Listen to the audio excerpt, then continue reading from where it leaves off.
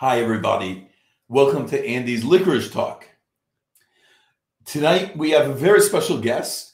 It's Michael Lowenstern, bass clarinetist. Uh, he has a special website, and I bought this uh, from it, and, and this is going to be celebrating the bass clarinet. So we have, you know, true superstar, two true superstars on the bass clarinet.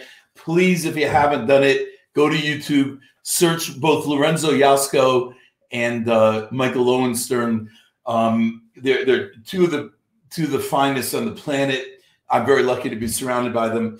Please don't forget to like Facebook, our Facebook page, Andy's Licorice Talk, and please subscribe to our YouTube channel. Lorenzo is a huge fan of airplanes and technology and the bass clarinet, and this is Michael's thing. So Lorenzo's going to be leading most of the interview, certainly at the beginning. So without further ado, first we would like to introduce Lorenzo Iosco. Good evening. And you. Hi, Andy. Hi. So yeah, as uh, Andy said tonight, finally is the night that bass clarinet players can get the control over Andy's Licorice Talk. I already tried in the poster uh, of this week uh, about Lowenstern, but uh, yeah, it's a night basically tonight we can talk a little bit more about our instrument. Uh, but before doing that, I would like to introduce our incredible uh, guest. He's one of my hero, and uh, I remember when I started playing bass clarinet, I was 17 years old, and Michael was one of the people I, I, I was going to look on uh, on YouTube or any amazing video he was creating. So please uh, welcome Michael Lowenstern. Hey everybody. Hi. Hey Michael, thanks for coming, man. Oh, it's thanks for inviting me. Good morning. We, Good evening. We haven't, we haven't even gotten started, but we have a hello from Melbourne, Germany, Ireland, Florida, uh, UK, um, Hong Kong, and we have a, we have already. So so I think you know, hang out to your seatbelt. I think we can we can actually close it like this tonight. Yeah. I think we achieved already. No, I'm joking. You're, you're not coordinated with us. I know, I know. So if you see my voice, my face not going with the microphone, the audio, don't worry. Uh, we will explain to you later. Uh, it's a magic. So Michael, uh, one of the first questions we usually ask our guests, and Andy does, is uh, what have you done during this uh, lockdown? Uh, have you been active? Have you been doing videos? Because what I know, I have seen a few pictures that it makes me extremely jealous of you landing in JFK. Oh yeah. And in, and in uh, is it LaGuardia as well? Yeah. How do you do that? First of all, well, uh, so so this has nothing at all to do with clarinet, which is awesome. Um, the uh, so I have a little plane, and uh, it's like what I like to call it, it's like a Toyota with wings. It's really small. It seats four people, and uh, you know there are big airports here in New York, and uh, it costs a lot of money to land there normally. You know, uh, for for even for my little plane, they, they charge you by the weight. So the big planes are paying thousands and probably hundred thousand dollars to land. Um, but for me and my little plane, I have to pay five hundred dollars to land and take off. And so uh, I don't do that because I don't want to spend the money to do that. But during the during the um, the beginning of the pandemic in April, there were no flights. And so air traffic controllers were going on Facebook and saying, look, GA, general aviation pilots, will you come and land? We don't want to get rusty. I was like, hell yes, C count me in. And so my wife and I uh, flew from our little airport, tiny airport in New Jersey. Literally, the security of our airport is a white picket fence that you can climb over. And uh, we flew to LaGuardia and landed at LaGuardia. And they're like, "What? Well, air traffic control's like, well, what do you want to do now?" I'm like, I think I'll go to JFK. And so we flew right over to JFK. And then after we landed at JFK, we came back and after we landed and, and, took off again, they're like, would you like to go to Newark? And I said, nah, I don't like New Jersey. So, um, so then we went home. That was it. so we didn't land actually in, New, in uh, Newark. We did not land in Newark because um, I didn't care. I hate Newark. I hate Newark. Because, uh, I mean, I was shocked. I was, I was really. It, this is amazing because I know how the traffic is crazy during the normal uh, day. Oh yeah, no one. Nobody. How exciting was to land in those places that you usually land with a massive airplane like 777 or oh well you know it was it's been uh, a bucket list item for me forever. I've wanted to ever since i started flying i wanted to land at those two airports because those are like the biggest airports and uh, super busy and each of them has their own challenges in terms of like laguardia you're landing over water and then boom you're on the on the ground. So that's a little freaky. Like you're literally over water until the very end um, so yeah, it was it was really fun, and I may never get to do it again, but I got to do it once, and I have videos to prove it. Amazing, no, amazing. Uh, you got all my respect about that, uh, because I did as well, but I did with the flight simulator, so uh, oh, okay. I guess it's not the same. But, but yeah. at least I tried, okay. Uh, yeah. So and the, the second question is, when did you get the PPL? The PPL and, and you got that or yeah, uh, for those who don't know, is private. Pri- uh, yes, private pilot uh, I've had it for five years. Okay. Okay. Okay. Okay. Yeah. Wow. And and no, wait, no, no, no, six years. Six years. Six okay. Years. And you always had this uh, passion because you know since when I'm little, aeroplane actually comes first than uh, music. I mean, uh, yeah. I um I've wanted. I, I love um planes, trains, and automobiles. I've always liked vehicles. Uh, I have a lot of crazy, weird bicycles. I have an electric car. Uh, I've always, you know, I've, I've never really been interested in boats, but I've always wanted to have an airplane and I've always wanted to learn how to fly. And a friend of mine, you know, they bought, he, for my birthday, bought me like a, you know, like a, a first flight thing that you can do where the instructor takes you up and then you can steer for a while and then they land you. And that was it. I, uh, I asked Catherine, my wife, I'm like, can I do this? She's like, get some life insurance. I got life insurance. Uh, she's like, light the life insurance vest I let the life insurance vest so that if, and then I called my like guy and he's, and I'm like, can I get a plane license now? And he goes, yeah, you could even start a drug habit if you'd like. And then uh, I, I got my license right after that. So it was, it was a process that took a couple of years of me not dying for my life insurance so that I could learn to fly an airplane in case I die. So, uh, so now you're allowed to die, basically. Now I'm allowed to die, and at least she'll get paid. That's fantastic. Yeah. Fantastic. Okay, so I think uh, we can close the, the aviation. Just great talking to you guys. Awesome. I'm living. I decided one of the reasons I decided to live next to the airport in Hong Kong is because I have the windows. I can see every morning landing lots of airplanes. Now, now there are not so many, but it's uh, just to let you know how crazy I am about flying. And and one day I, I definitely want to take the PPL because uh, that's that's really anytime you're in New York, I will take you up the Hudson River. You're allowed to fly up the Hudson River without asking permission at about 900 feet, which is like the 75th floor. Uh, I, I, did with the helicopter. I did the tour with the helicopter. But, okay. But I take your invitation. I'll let you actually fly it though. So. Right. Yeah, you know, uh, speaking of the airport, I don't know if you know about this, but they, I don't know what our airport's quite amazing um, here in Hong Kong. Uh, I don't remember how old, maybe 20 odd years old. But before that, we had a very yeah. famous airport called Kai Tak. Anyone, you got to get on YouTube to see it to believe it. I mean, literally, wow. you would fly in and you could almost touch people through the window. I mean, it was it was one of the most famous landings ever. And and they have a lot of the paths. Uh, you've got to see to believe it. So if you have a chance after this, go on YouTube, see landing in Kai Tak Airport in Hong Kong. You won't believe it. There's never been an airport like that. I don't think. Wow. I think I may have seen that. No, yeah, I'm sure you've seen it. You've seen it because yeah. there is a big turn on the right before land, landing, and it's it was very famous. So I'm sure you you have seen it.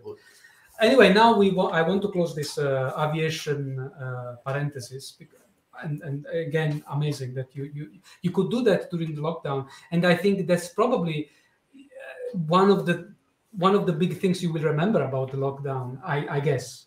Yeah i'd say i'd say it's nice to it was it was nice that i for me to have a plane so that i could leave new york if i wanted to right? Um and i didn't i don't i still don't feel comfortable flying you know commercial. I haven't flown since then but i've but having the plane makes me feel less like I'm stuck. Great, great.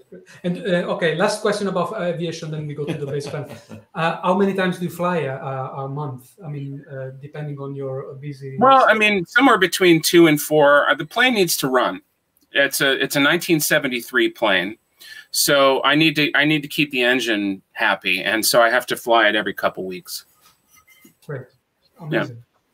Fantastic. So let's go to our uh, main uh, thing, the bass clarinet. When did you choose that?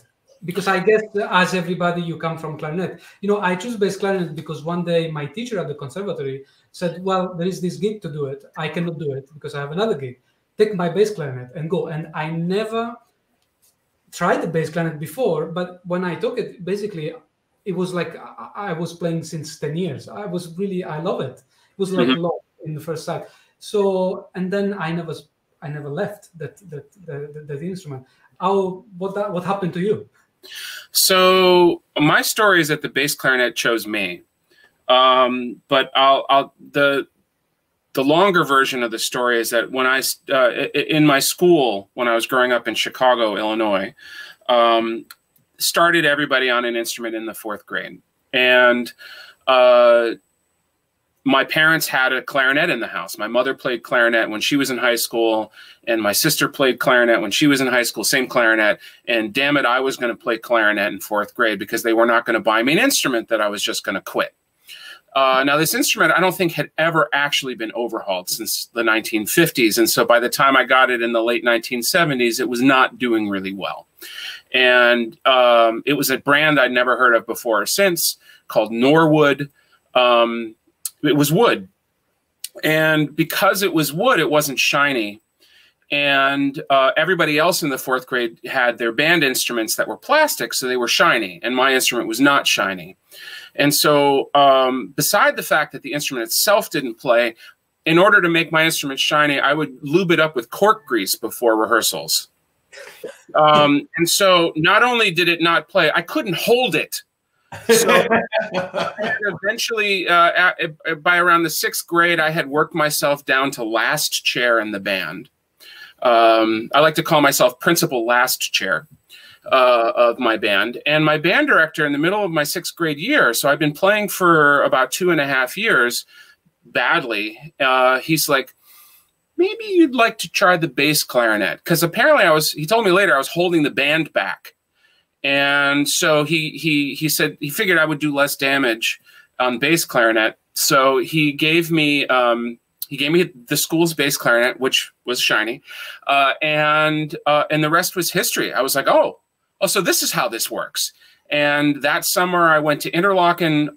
So, like six months later, I went to Interlochen uh, music camp, and then I went every summer since uh, after that, all the way through high school. Even I, in fact, I went my, there my senior year of high school, but I'm getting ahead of myself.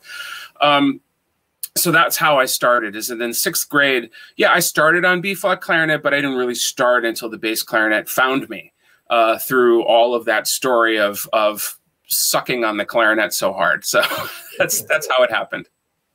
Great, great. Yeah, but, but by the way, just to interject, we've got the two of your past teachers, John Ye, who says you were a virtuoso at 10 years old, and of course and and and of course and of course Charlie and Ayako. So who are, as you know, past guests. They're all here watching you and a bunch of other people. Yeah, it's okay. You don't have to play today. No, no, no. by, by the way, doing some research, uh, and I want to connect that, uh, you basically were one of the first people making video on YouTube. Mm. And I, I, see you started basically uh, around 10, 11 years ago. And uh, uh, yeah, around 2009, uh, yeah. I started uh, making videos. In the beginning, like everybody, I was like, "Oh, here's an opportunity for me to put up videos of my concerts," and a lot of those were uh, I mean, a lot of my early videos, which have very few views, were me just performing. But I started making videos. I, my plan was originally to make a video website. Like the whole website would, like, you'd ask a question and I would answer it as a video. So I was, uh, you know, I made a bunch of videos that were all like, if you swore, I would say this, and if you asked about ligatures, I would show, say that. And so I took, I never made the website, but I had like the slap tongue video and a multiphonic video, and I had a couple of those things, and so I threw those up and I was like, wow, okay, so this there's an opportunity for teaching. And so I realized that uh, it was a meet. Uh, I, I, was meeting at least some kind of a need, or at least an interest. And then uh, in about 2011, I had a student, and uh, she would come to my house from Pennsylvania, and she would uh, you know, we'd be working on whatever Rose etude on the bass clarinet. And then I would ask her, I would say, like, all right, so now I want you to go find a recording of this. Like all of our teachers would say to us, go find a recording of this and listen to it. What she would do instead of what I had intended, which is her to go to Spotify and, and listen to a recording of, you know, Hindemith or whatever the heck it was that we were working on, um, she would go on YouTube and listen to other high schoolers play it badly. And so I was like, okay, so this is a behavior right? Okay, so uh, there's a behavior that when you ask somebody, a high schooler, to do this, they will go on YouTube and search for it. So what I decided to do was I would I, I, began to realize that this was her pattern. So I would, as soon as she left, get out my camera and make a video of what we had just talked about. And uh, and so when she would go search for it, she'd find me. And my first videos, which I don't have up anymore because they were very specific, I'd be like, Jamie, you idiot! I told you to go listen to somebody good and okay fine i'll teach you again. And they were like they were really like one to one and i started realizing that people were actually watching those and finding value in those. So then i just started to do that as a as as a thing. And so my goal was to do one every couple weeks take the summers off and i've been doing that for this is now my 10th year. Yeah because i mean we all know youtube now. Yeah years ago i mean seriously youtube was uh, just at the beginning uh, was a website. You couldn't find all the videos that you find today. No. so that's why i'm asking and you actually responded because i'm curious uh, who brought to uh, inside youtube and and you responded that. And i also wanted to ask if you I, I always seen you as the guy with the vision so that you actually predicted what was you know now everybody is in youtube now 2020 mm-hmm what are you on now that in 10 years is going to be the YouTube? uh, life support. Um, no. Um, I just joined AARP. How's that make you feel, John and Charlie? I just joined AARP. That's a retirement. Hey, for senior citizens. oh. Yeah. Anyway, no. Uh, what do I? Ha- I don't know. I mean, I here's the one thing that I think um, that I'm working on personally is that uh, what we're realizing is that COVID will be, I'm assuming, taken care of and the world will heal and we'll all be out, back out doing stuff. But we've started a new behavior. We've started a new behavior and are reinforcing that behavior here. You can watch music on YouTube or online. You can have performances that are live online.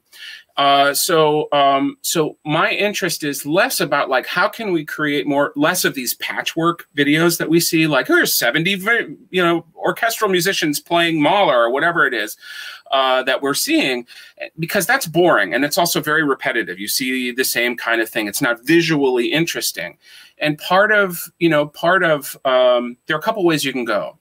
Uh, one way is uh, using faster and faster internet to be able to actually have synchronous concerts. And I know Charlie is interested in doing that, and he's he kind of put the bug in me a little bit to, uh, you know, understand how you can reduce the latency of internet uh, so that you can actually. Do you think 5G will help hugely? no, I don't. I don't think 5G will help. Um, I do think, however, that people will need to not use Wi-Fi. Um, so you need to plug something into your, you know, main line into your modem.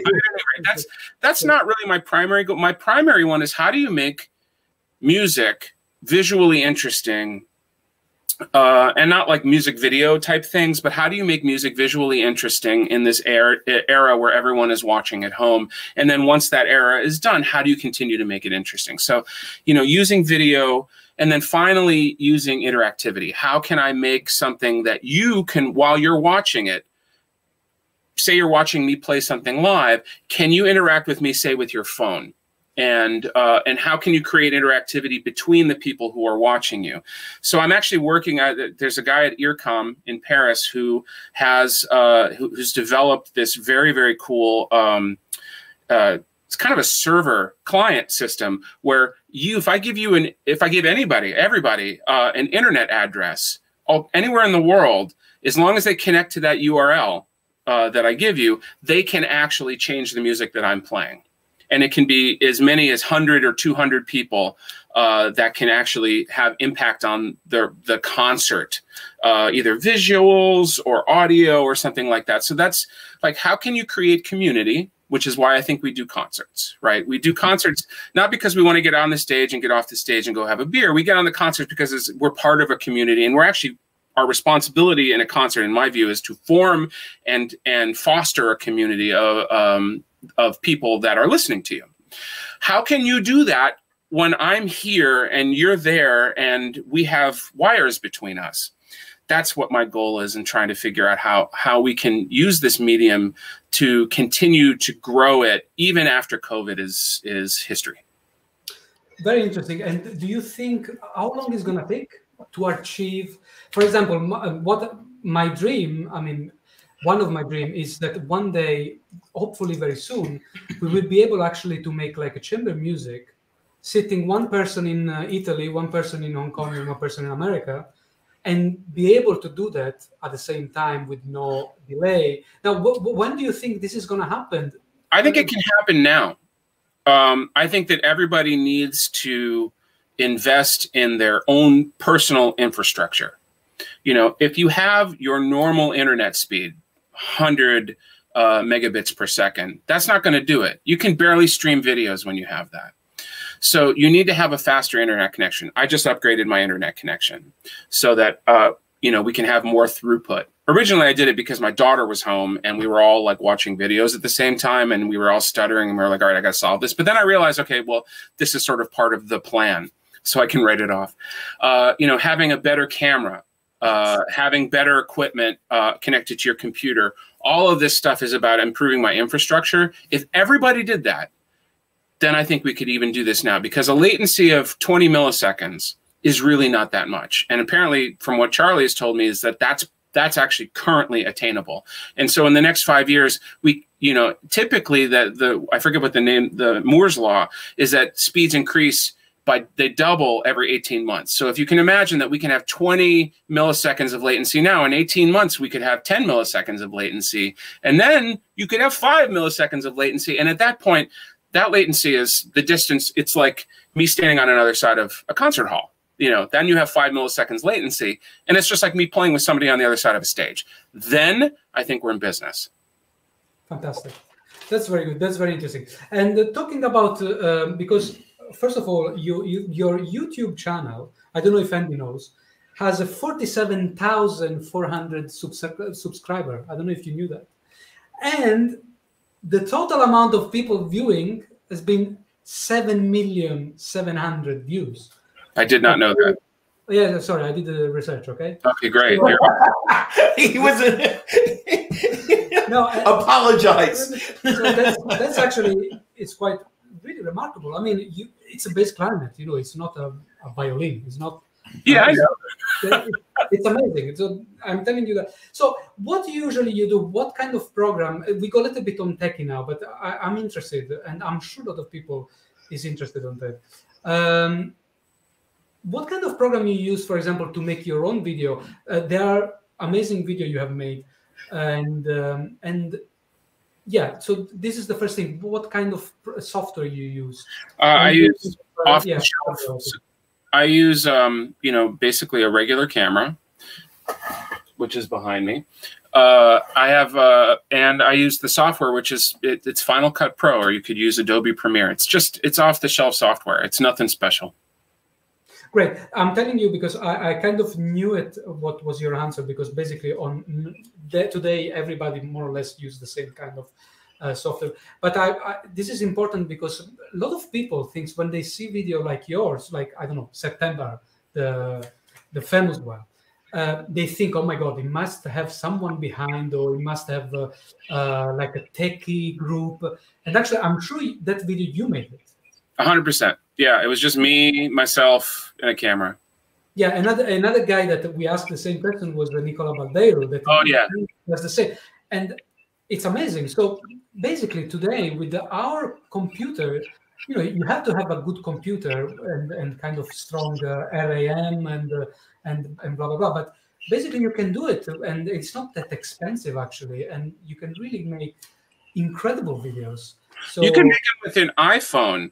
You know um, you can do really good work with equipment that you already have. I mean, that's like one of my mantras, right? Is that you don't need specialized equipment. You can do anything that I do, basically anything that I do with stuff that you already have. Yeah, fantastic.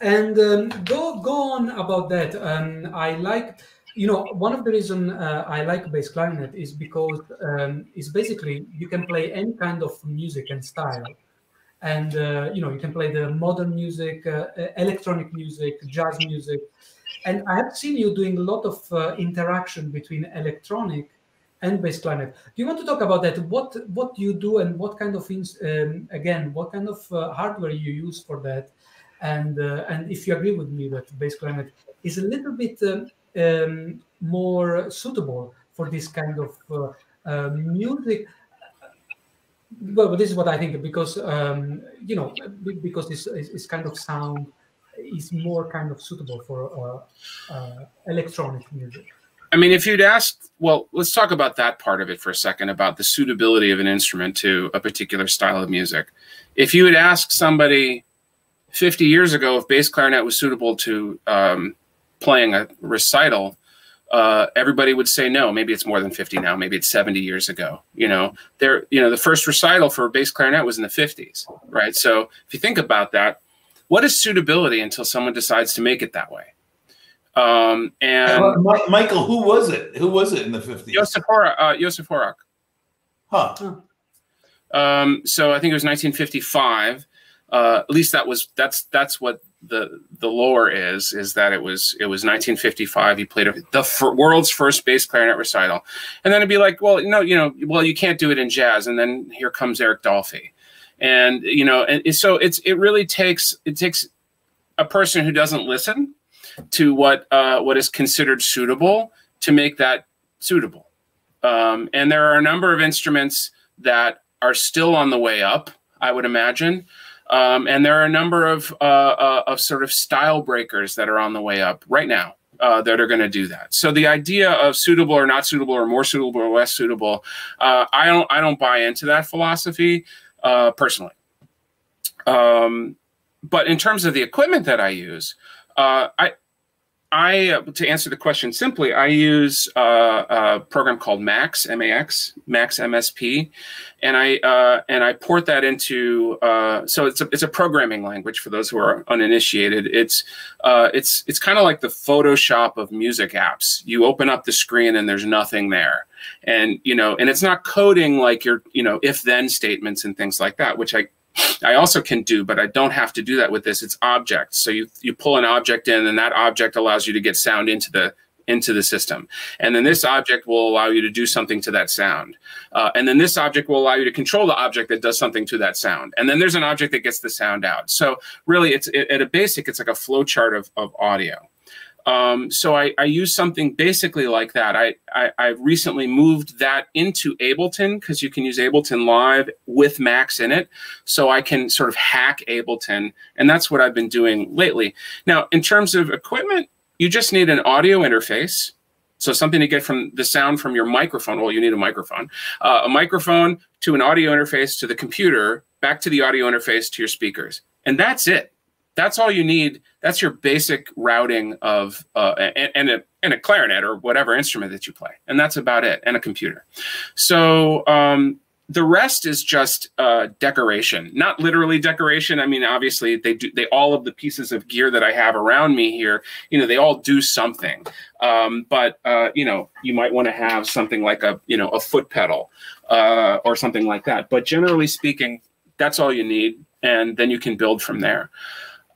One thing I'd like to say also, kind of going back to combine those two thoughts of like what's suitable and then what's what's what, what kind of equipment you use, is that you're going to have people ask you, you, all of us in our careers are going to have people ask us, can you do X? And um, and you could say, no, that's not suitable. No, that's not possible. No, that's not feasible uh, or or practical, um, or you can say yes and figure it out. And my advice is to say yes and figure it out. There's no reason to say no because first of all, if you say no, they'll never ask you again. And second of all, if you say yes, you will learn something. so you know that that my whole life is a is uh, I hope to think. I mean, that's maybe a little bit idealized, but I hope to think that I say yes more than I say no. Can you put a bass clarinet YouTube channel on? Sure. You know, can you do electronic music with bass clarinet? Sure. And I wasn't the first, and I wasn't the first to put a YouTube bass clarinet channel on. I'm sure, but uh, but it's about like yes, and then figure out what works and read the room and see what needs to change and adapt and and move forward.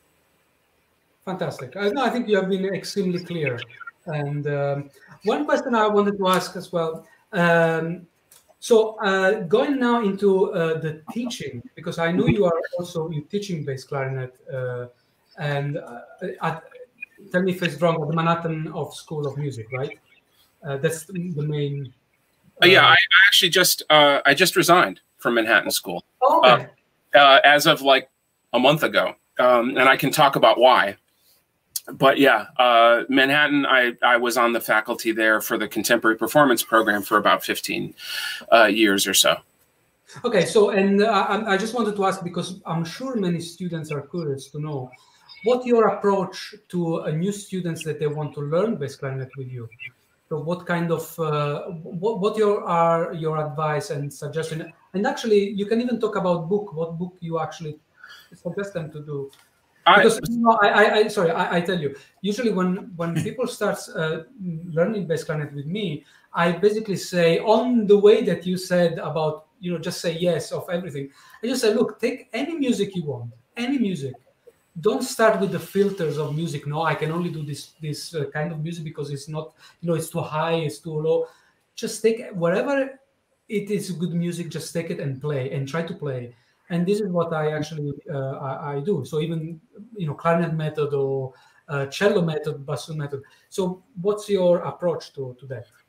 Uh, well, if it's a clarinet player that is moving to bass clarinet, I will have them take some clarinet etudes. You know, like let's just say a rose etude, if that's you know if it's a high school or something like that. There's no reason you can't play that on a bass clarinet. You do not need special bass clarinet etudes. Yes, the bass clarinet, at least most now, go down to low C, and so there are some notes there that don't exist on the B flat clarinet. We'll handle those later. You know, that'll come. But uh, but my my view is you should just start on something that you already maybe your fingers already know, so that you can see what the differences are in terms of the voicing, in terms of the approach, in terms of your air, in terms of the instrument, uh, and you know all of all of the parts of articulation, and uh, and, and just go from there. And I think that comes from uh, maybe just that John Yeh uh, did that exact thing for me. I wasn't on a special book. Uh, I wasn't on any sort of uh, bass clarinet plan. I just played the bass clarinet and I had a rose etude book and that's what we did. And so, uh, and I also did it on clarinet as well. Um, but I think that it, starting off, not treating it like it's some kind of sub clarinet like base like lower lower on the totem pole, lower on the difficulty scale, or something like that, uh, is for, is far foremost. It is it is every bit as much a clarinet as a clarinet is. Um, and then the you know we can get into the individual parts of this, but I feel like um, what sets apart a bass clarinet player from what I call a bass clarinet owner operator is uh, you know is uh, articulation and sound and uh, and articulation on the bass clarinet is is is kind of a different experience, I think, than clarinet. It's certainly got more. There's more in your mouth, uh, but there's also more that you need to do to adjust how you approach your air when you're articulating a note. And this is just my view. And then, of course, the sound. Uh, I want to make the clarion register of the bass clarinet sound like uh, you know the lower register of a clarinet and uh, and I wanted to I wanted to have that kind of flow. And again, uh, I, I, hope I hope I embarrass him by saying that every time I pick up the bass clarinet and play, I have John Yeh's sound in my head.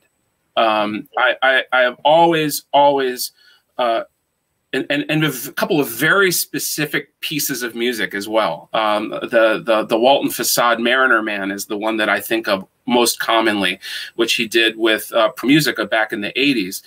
That recording with bass clarinet and piccolo and snare drum is the like it's a minute of perfection and I love that so much. So to me, there's like there's an approach to articulation, there's approach to using air, there's approach to the sound. All of that is just like okay, that's what I'm shooting for. Uh, so that's I think the final thing is like find a sound that you like and and see what you can do to get there. And that's just the beginning you know obviously we could talk about equipment and you know and you know mouthpieces and stuff like that but you know but basically it's it's it's all in here right? I think we all agree that you could have all the ligatures and and it's ridiculous how many ligatures i have you know? Um so uh you know you have all that you want doesn't matter it's all it's all in here. I love that yeah. So i think for now my part has been uh, done. I think we can uh, leave to the master Andy, I don't know it, should, it should be here. But anyway, yeah, just, thank you so much. yes, great, great, great. I, just, just a little clarification on what you just said. You when you um, first of all, rest assured you did succeed in embarrassing John Yeh. So congratulations on that. But but for for my own um, Charlie, you're next. Yeah, for clarification, you um, I, I, wasn't sure if you meant his bass clarinet sound, or as you said when you were imagining a clarinet sound. No, well, his clarinet sound too, but his, but I, am I was talking about his bass clarinet sound. Okay. Um, I mean, really, honestly, uh, in terms of sound, that was the first sound that was really in my ear. You know, I started studying with John when I was 13, um, bass clarinet. Um, and there's a whole story about that, which I think is hilarious. I have a lot of a lot of embarrassing stories about me, not about John uh, you know, and John was uh, 23 or 24. So he was he was a kid so too. He, he, was the bass clarinetist at that time. no, the, I, think, I, think, yeah, he was a bass clarinet for like a minute, and then Laurie joined. Uh, no, so, John, clarify. How long were you bass clarinet? Were you? How long were you bass clarinet in the orchestra? Okay, he, he's slow on the typing. Invitation. he, he's so you know John is the record holder for the longest interview so far out of eighteen. Three hours, one minute, and change. Okay, 1977 to 1980, he was the bass clarinetist. So when did you oh. start oh. studying with him? Oh, so I was I started in 81, so he was already the clarinetist. Okay, okay, yeah. me a couple. Uh, great. So um what, what we love on this show because we're, we, the way we look at it you know we're documenting all this. Maybe in a hundred years people are going to look back and uh, you know wow th- this piece was written you know for this player that the way people look at Mühlfeld or whatever. And I love it when people go into the old people I, I older um master not you not not these people. tell you who is old. Yes. No no no. Uh, but anyway we um I want you to do a little bit of a tribute, if you'd like to, to Harry Sparnaay and what he did for the bass clarinet, because I know he, you were close with him. And a, a student, if we're going to do a bass clarinet segment, I, I, think we need to include him. And, and who better than you? So, so do it. um, well, well, first of all, it is, it, you know, I, it's, it was an honor to have been a student of his. I didn't know who he was until Charlie Neidich told me who he was. Oh. Um, and uh, and you know it's embarrassing enough to say, um, but you know I didn't know about Harry until maybe my junior year of college, um, and that was around the time that Charlie, who himself had had a uh, um, a Fulbright, uh, I think the very first Fulbright to Soviet Union uh, ever, he he was like, oh yeah, maybe you should get a Fulbright. I said, what's that? And you know, and he's like, well, you know, who would you want to study with? And we started talking about this during a lesson. And I, and uh, is it, my memory doesn't serve me that well, but I remember doing some research and finding a bunch of these pieces that were in the Sibley Music Library, all of whom were dedicated to this guy named Harry Sparnaay, who I'd never heard of. And then Sibley Music Library had a couple of Sparnaay records, and I listened to them, and they were just whack 1970s, you know, uh, bleep fart music kind of stuff that was way outside of my spectrum of like whatever. Uh, but I figured, okay, he's the guy. And I just saw that he had had hundreds of pieces written for him. Um, and he was really the, the preeminent exponent of the bass clarinet. So I was like, all right, let me send him a letter and I sent him a letter, and he sent me a letter back, and uh, we corresponded. And I sent him a cassette tape of me, and he's like, "Yeah, you're good," and uh, and so I applied for the Fulbright, and I got it. and then I went to Holland. And my very first lesson, uh, I decided to play. I think it was Joan Tower's uh, "Wings" on bass clarinet for him. And he'd never he he was not a huge fan of American music. Um, and he may never have been a huge fan of American music. He didn't like my music. Uh, he told me so.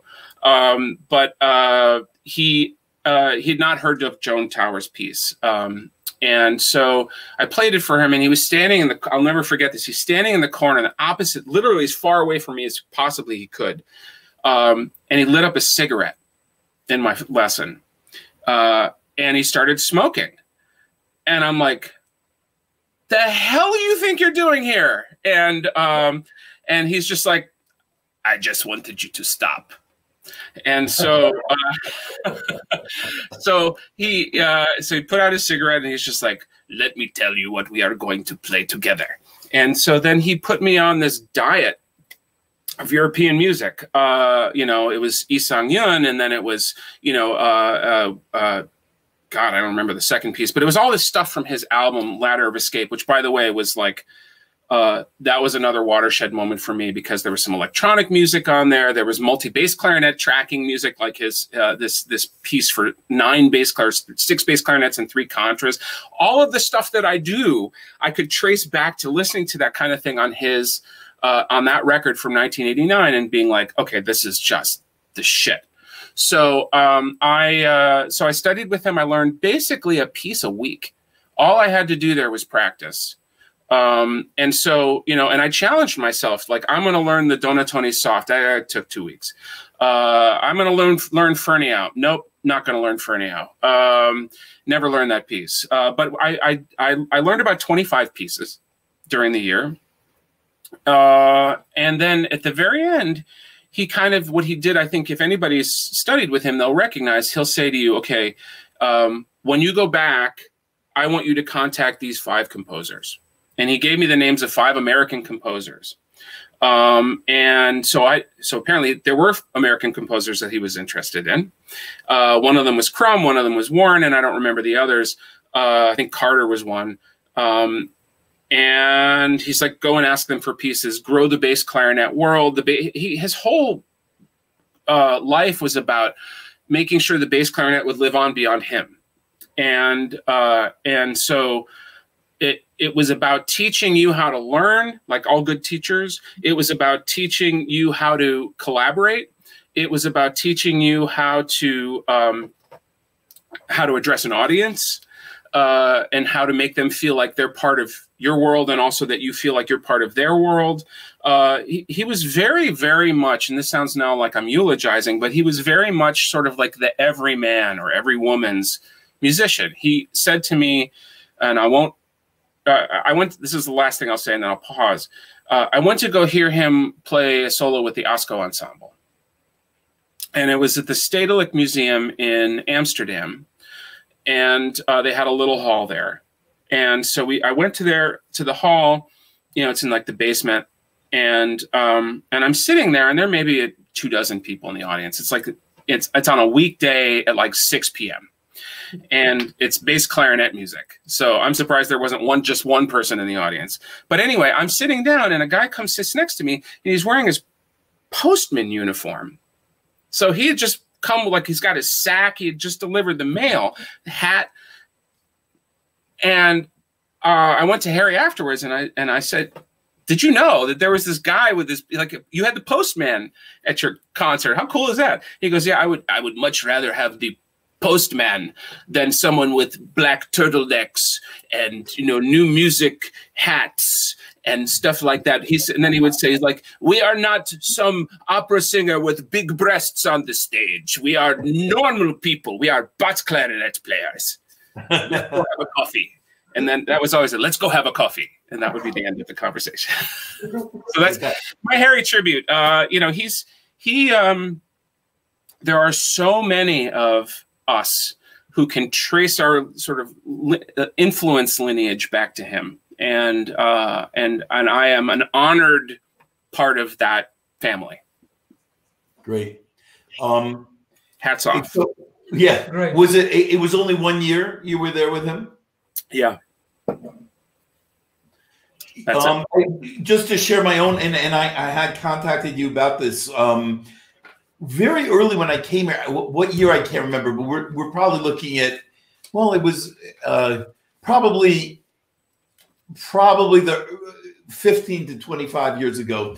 There was a big uh, new music festival here, and they invited the Het Trio, which was him on bass, piccolo, and piano, you know, and I was thinking, well, what kind? Of, I wouldn't mind hearing one piece by that, you know, and and and I read it at that time in the program they had something like 157 work commissioned for that combination, and it was a full-on concert, six, seven major works, and I was I was just hypnotized. Yeah. You know, I thought, I mean, if you had told me you know, I'm going to watch the bass clarinet, piccolo, and piano, um, you know, and for two hours, just with my jaw open, listening to every single note, I would have said you're crazy. And it was, it was, it, you know, it, it, was a really, really um, uh, exceptional experience, and it and it connects with me now during this and in, in, a in a big picture uh, this this project because um, one of the things I haven't addressed enough yet, but I, I was hoping to give a little more exposure to composers that I, I mean, musicians have it rough, but I think world premieres are having it even rougher. So I started commissioning um, uh, works just from my living room to premiere. And um, there was a really great local Hong Kong piece on that recital written by Victor Chan. And I thought, wow, this is like really great piece.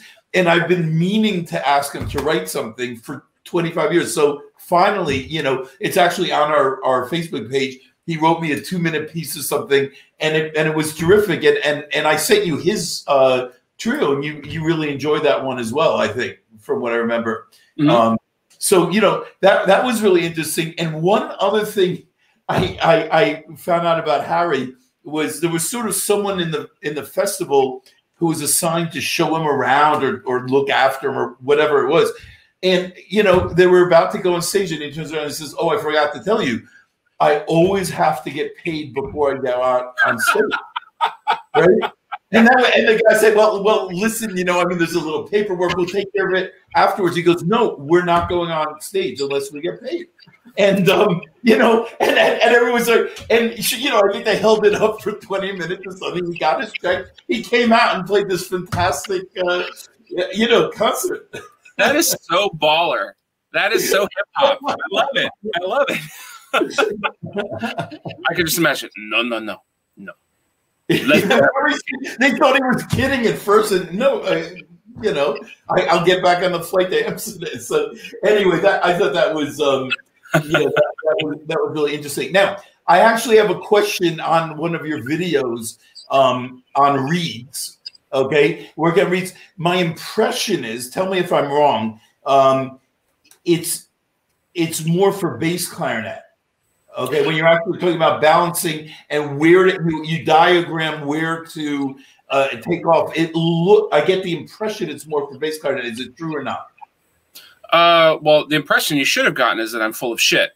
Um, but uh, the, no, but honestly, uh, I don't really have a philosophy on it. To be honest with you, I know people need um, sort of like guidelines and you know this is what this touching this part does that for your sound and touching this part does and don't ever touch this part and stuff like that. I, I, I recognize that people at least the audience that i have needs certainty.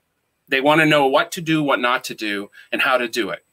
Um, the reality of it is obviously for those of us who do this all the time is adjusting reeds is is not a science uh, at least not to me. It's it's a little voodoo and you do something on a reed and it works you do the same thing on the next reed and it doesn't work. And uh, and so so i would look at that video as less of a guide for professionals certainly um, because uh, you know that's for that reason uh, and more of a guide for people who just don't know where to start so whether it's for bass, no, I hadn't intended it just for bass clarinet or, or uh, um, I had intended it for a reed player. And, you know, again, if it works, it works. Uh, and, and if it doesn't, uh, you know, you'll, you'll have to learn the voodoo like we all do.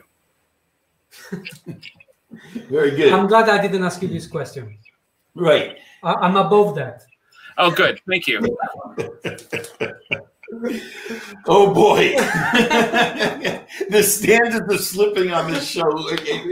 anyway, um, uh, yeah. So, so a little, a, little hint. I mean, you you spray painted your bass clarinet black. You have a name for it. I mean, what's that all about? Uh, neither of that is true. Sorry, uh, I didn't spray paint it black. It was made for me. It was, and, all, it was all. And, and the only person that names their bass clarinet is Michael Drapkin. Okay. Yeah. he wrote that to me just before here. Okay. Yeah. I'm getting my Michael's guy. So you you and you requested it to be all black. I did. So the story of that is I've I've wanted a black bass clarinet. Uh, I had wanted one for about 10 years. And uh, I became a Selmer artist and uh, I became friendly with Stéphane Gentil. And uh, and every time I saw him, I'd be like, I want that bass. I want a black bass clarinet we will get that for you. uh, no, I mean, I'm, I'm, serious. I want I want a black bass clarinet. Why? Because it'll look cool. That's why, and that's really why. There's no acoustical reason or anything like. I just wanted a black bass clarinet. I wanted it to be stealth. Uh, and finally, he agreed. And so he, you know, they they. I said, look, you've got this system for, uh, you know, Kyle saxophone. I didn't know it was going to be matte black. I thought it was going to maybe be shiny black. Uh, but when he gave me the option, I was like, oh hell yes, it's going to be matte black.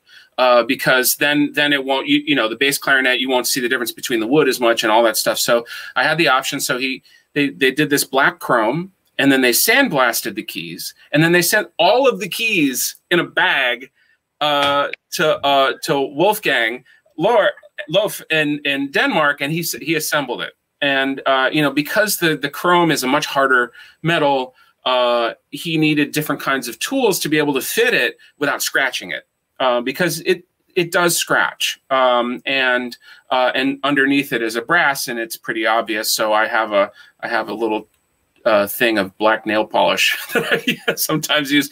Sometimes it's a sharpie um, but I uh, you know to keep it to keep it looking all black. But it was really just like I wanted it um, I wanted them to make it I wanted, and and I didn't care if they made ever any more of them. But then they decided, oh well, maybe maybe we'll make them because you know I put it on YouTube and people were asking about it. And then they made a black B flat clarinet, uh, which yeah. I also have. they sent me one, um, and you know, it does it sound different? Some people think so. I don't really know. I mean, I have a I have a I have both an, a black and a not black, and to me, they're you know they're different because they're different instruments, but not because of the plating. Wow. That's the story. I think something, related, something related to your when you were playing in the band in the when you started at the beginning that they put you at the end at the back and this all these shiny clarinets and yours was oh you know it's so funny. I didn't even think of that. I didn't even think of that. Yeah. I, i'm i'm the king of the the the not shiny clarinet. So now, I, I, you know, I don't know that much about your career, but you work at Amazon. You have a you have a day job, right? So, like, for you talk us through a little, at least a segment of your of your path. At one point, you've been a full time professional musician, I guess, and now and now you've moved to Amazon. Uh, um, you know, I mean, how did that happen? um, so that's a that's a great question. Uh, I'll try and be brief because um, it is a long story. But um, you know, I, uh, I I landed in New York, and I started doing gigs, and I started picking up a lot of. Uh, I, I was always a bridesmaid and never a bride. I never won an audition and had a job, um, and so I was always freelancing. And um, and around you know and, and, it was never enough to support a family. And i had a you know i had a wife and a, and a daughter and you know my wife works but i mean we had a family and i needed to support it and and these sort of um, you know gigging around didn't didn't do it. So i always had a second job working in advertising. And uh, let me just pause and say why advertising. I look at uh, i look at when i made when i did concerts at eastman one of the reasons I enjoyed doing them so much wasn't because I was playing an opportunity to perform. I loved, I loved making posters. Uh, and oh my God, you guys have a lot in common. Huh? You know the poster. Did, I did you made- like his poster of your? yeah, I thought it was pretty bad. I was I was super impressed by the way with your Photoshop skills, being able to find the outline of my body against a white background. So kudos to you. I know Oh, exactly how you did it, uh, and you Yeah. gave me a nice tan in the process. Thank you. Did you have any headache?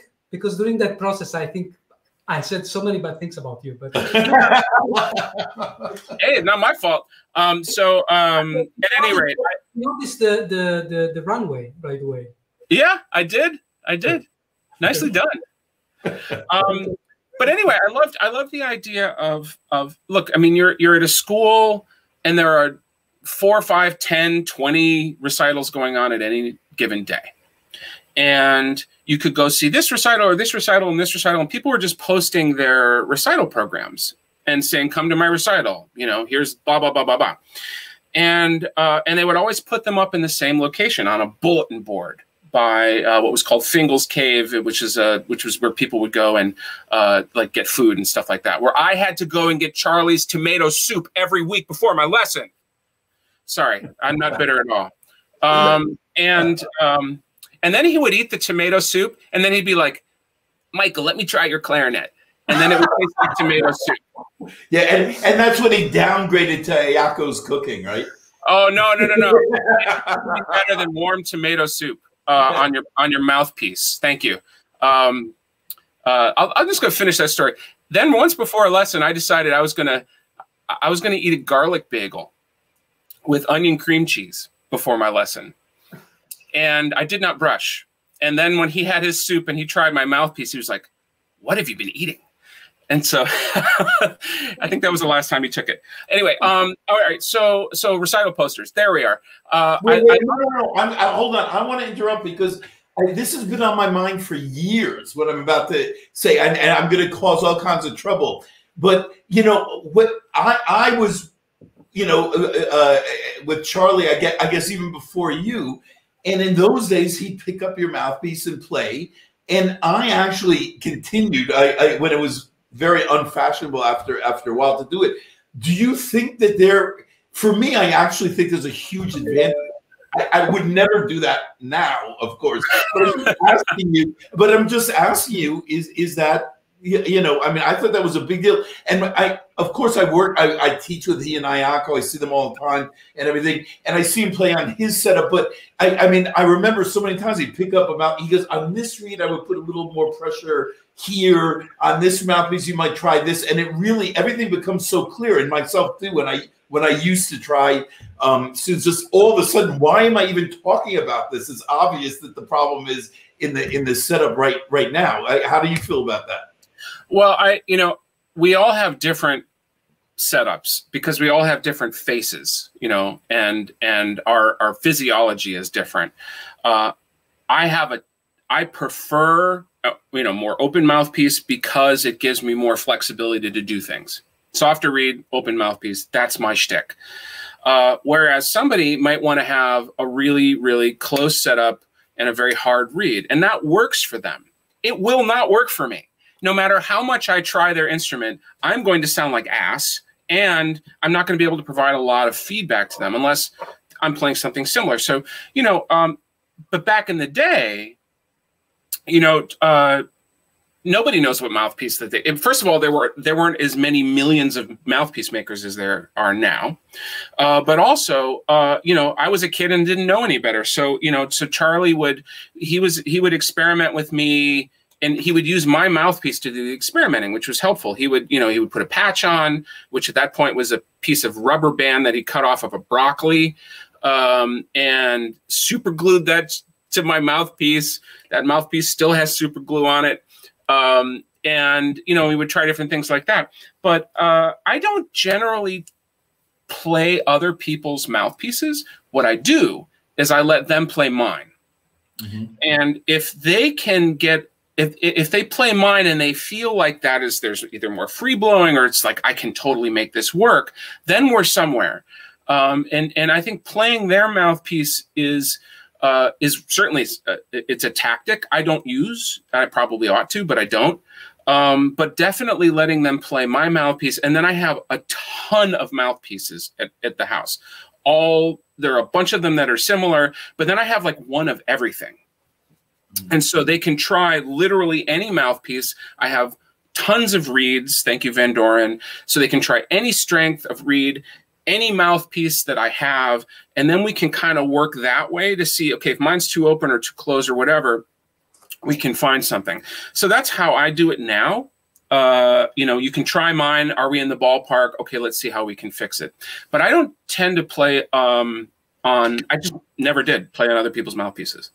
Okay, you can go into uh, advertising. Uh, posters, oh. yes, posters. Posters. Oh, yeah. sorry, uh, getting mad at me. Cut me off and give me the hook if I talk too much. Just be like, we should have a oh, safe. No, no, no, no, no, no. Don't you know, worry. Like, you can just work like, like that here. No. Safe word is grapefruit. If, you, if I hear grapefruit, then I know that it's time to oh, move on.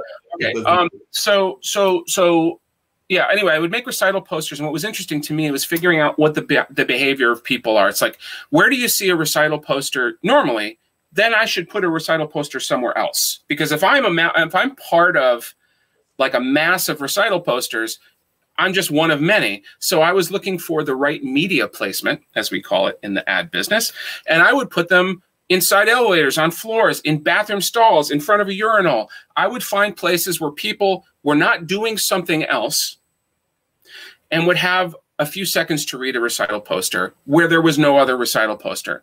And and that to me was fascinating, which is like, okay, well, which recital poster was where and how did it work? And that's all advertising. So understanding your audience, where you can reach them, and what message works is 100% advertising. So to me, it's like, well, that's the interesting part. Maybe I should work in advertising too. So I got a job in advertising and I enjoyed the hell out of it. And then just so happened, again, this is one of those say yes moments. Um, there was this this thing. What is it called? Oh yeah, the internet, and uh, that happened in the mid 90s, right as I was moving to New York, and I had an opportunity. And they're like, "Hey, we're starting an internet department. Who's in?" I raised my hand. I said, "Yes." What's that? Um, and I mean, I knew what it was, but uh, and I started working in their nascent at, at, Grey advertising, the big venerable Grey advertising, uh, you know, have a Coke and a smile, Grey advertising. Um, they started an internet group, and I was one of the first members of it. And so from there on, uh, I've been working in advertising. And then at one point, so going back to why I made the switch, was I was making so much less money in music and working so many more hours, which is not un, you know, not a surprise. But then at the same time, I was doing some of the gigs that um, were the gigs that I had wanted to do when I was, you know, I, I, looked at myself from the, I was like, this is what I want to be. Then I will have made it when I'm playing with this group and this group and this group. And I was playing with all of them, uh, you know, and, or most of them. And I'm like 35 years old. And I look down the, uh, you know, down the row and I uh, I don't know if I should say this or not, but I let me just say I'll, I'll say it anonymously. I saw another bass clarinet player who was in his mid 60s doing the same gig that I was doing in my mid 30s. And I was sort of, and I transposed myself forward. I, I moved, you know, in time 30 years. And I'm like, do I really, really want to be doing the same thing in 30 years? Um, because that's where my that's where the gigs were. So I, I, I, you know, some people decide they want to go into conducting. Some people want to form chamber music groups. I just decided, why don't I just do something else that I like, which is advertising. So I made a decision in 2005 to quit everything, and I, within two weeks, and I had interviewed for a job. So the job was offered to me. That was what sort of prompted this sort of moment uh, I decided to take the job, full time job, not freelance like I'd been doing at Grey, and I and I made the switch. And within two weeks, the phone stopped ringing, which was also mm-hmm. something that that like I, I, realized that my fears were accurate, that yeah. I didn't really matter. I was I was a bass clarinet player. I wasn't Michael. I was somebody to fit to fill the chair, and um, and maybe that sounds a little bit cynical um, but then i decided like well for the music i'm going to do i'm going to be michael and i'm going to do the thing that i want to do and i'm going to do this advertising thing and that's how it started and that's how it's continued Mm. And, and what, what, what do you do in, in Amazon? So what, what is your day job? Like what my day job right now is uh, I work in their automotive group, believe it or not, and I'm figuring out how to sell cars on Amazon. Oh wow! wow. That's my job. It's it's uh, now there are nine of us in the group, and our goal is to sell cars on Amazon. Uh, Amazon US, US market, right? in the U.S. market because they sell they sell in foreign markets, but the U.S. market has all these crazy old franchise laws and stronger unions, and all, every state has a different set of laws. And some like if I sold a car in Michigan as Amazon, I personally would go to jail. So you know, there's all sorts of like legal stuff that we're working through. So it's a fascinating job. Um, but in the meantime, there's work to do with uh, you know uh, auto manufacturers are they're struggling to get people into dealerships and all that stuff. So our job is to help uh, you know, manufacturers sell cars and then ultimately see if we can uh, find a way to sell them on Amazon or at least some kind of a hybrid model. Pardon the pun. We, we had a um, uh, uh, one very off the beaten track interview with uh, Lawrence Gilliard Jr. He was a classmate of mine at Juilliard, a, a, a clarinetist, who ended up becoming like an A list TV star, movie star. He he was a star in The Wire and The Walking Dead and everything. And you know, what, what's his name? Larry Gilliard, but I'm not allowed to call him Larry. He goes by Lawrence now. So uh-huh. anyway, I, I, you you can wiki him, and, and you know, I mean, he he um because there was a composer at Eastman who was also in The Wire. So I wondered about that. Well, yeah. anyway, um, you know, so so we were catching up after about 30 years of of you know uh, being being in, involved in all this. But he said, you know, Andy, melt me down. I'm still a classical clarinetist. I, was floored by that. He said, I'm still a classical clarinetist. He quit, quit it all, you know, basically in um, you know college age. So I'm just wondering, uh, when you think of yourself and your identity, is it one or the other? Is it all of the above? Uh, what's your identity? It's a great question. Uh, and so I'm a performer. Um, I play the clarinet. I play the advertising. Um, but all of it is a performance. I talk to clients in boardrooms. I put ads on the internet and elsewhere. I play the clarinet on YouTube and in person. It is all um, it's all about performing uh, and it's all about sort of reading the audience, adapting to the audience, improving what my performance is, and uh, and like I said, creating community. Now, advertising that I, you could be very cynical and say that doesn't do that doesn't create community, and you're probably right.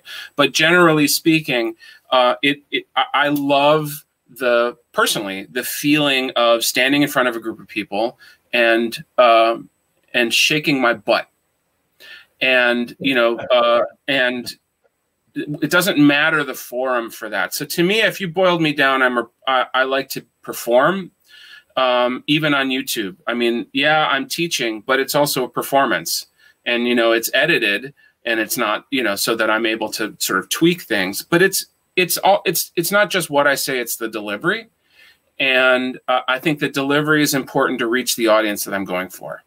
Mm -hmm. Very yeah. Um, now I, I want to ask you a question. Is it? I think there's other people I have in mind how things complement each other.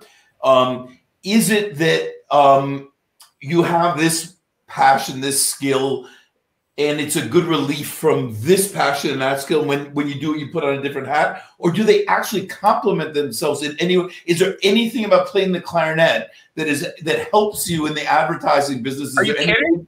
Absolutely, absolutely, and vice versa. Uh, and vice versa. So I'll, I'll talk about that. Um, yeah.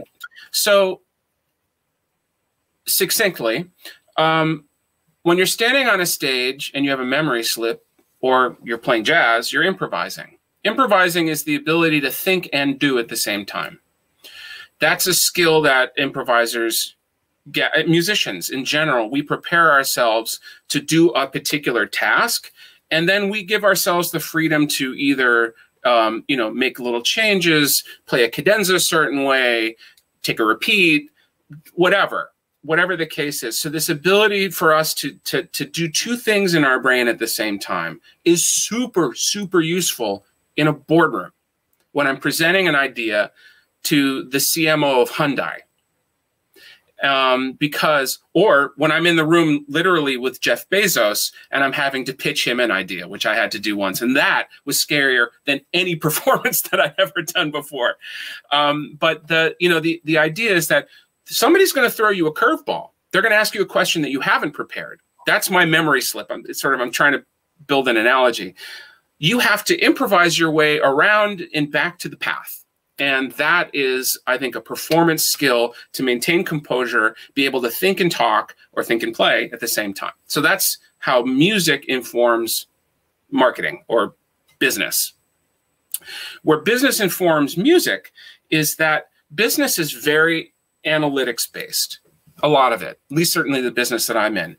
At Amazon, we know what products you've bought, we know what books you've read, we know what movies you've watched, uh, we do not know what you said to Alexa, contrary to popular belief. uh, we have uh, we have we know what you search for. There's a bunch of data points, right? So we're able to sort of build a thesis, a hypothesis about the kinds of things that first of all you'd be interested in buying, but also the kinds of messages you would, you would respond to if I was marketing to you, and then we market to you, and then we see how we did. Uh, so there's there's this it's a, it's an experimentation loop if you think about it. Advertising, if it's if it's done properly is you do a performance, that's your ad. You analyze, well, you do your homework to figure out what ad to make. You do the performance, you prepare it, you perform it, and then you see how you did. And then you do it over again. So if, and for me, that's helped enormously on YouTube, where I'm able to see how far someone's watched in a video, what the genders and age breakdowns, uh, what times of day, where they stop watching, how often they restart watching, um, all of that data is very useful to me to figure out what kind of stuff I should and shouldn't do. How long should my videos be? What's the content?